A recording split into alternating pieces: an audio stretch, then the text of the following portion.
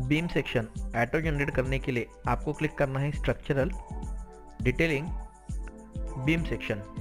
अगर आपका horizontal section निकालना है तो B S C H use करना है। वर्टिकल है तो B S C V enter करना है। इसे पिक करना है। आपको जहाँ से सेक्शन कट करना है, वहाँ से इस तरीके से ऑब्जेक्ट सिलेक्ट करना है फेंस में।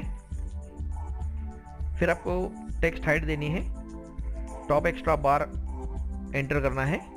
और आपको बस बाहर पिक करना है। इस तरीके से आपको पूरा सेक्शन मिल जाएगा।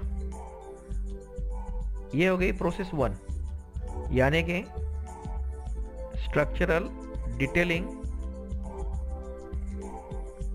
बीम सेक्शन जहाँ से सेक्शन कट करना है, वहाँ से इस तरीके से आपको सिलेक्ट करना है। टेक्स्ट हाइट एंटर करनी है। टॉप एक्स्ट्रा बार एंटर करना है और बाहर पिक करना है। टाइप टू में क्या है कि आपको जहाँ से आपको सेक्शन कट करना है, वहाँ पर आपको बस लाइन ड्रॉ करनी है। इस तरीके से।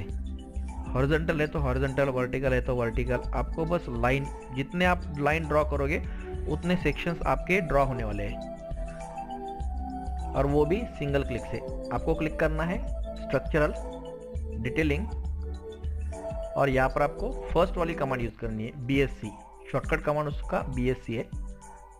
B S C one B S C two B S C three भी आप यूज़ कर सकते हैं। इसे क्लिक करना है। पूरा प्लान जो है उसे सिलेक्ट करना है।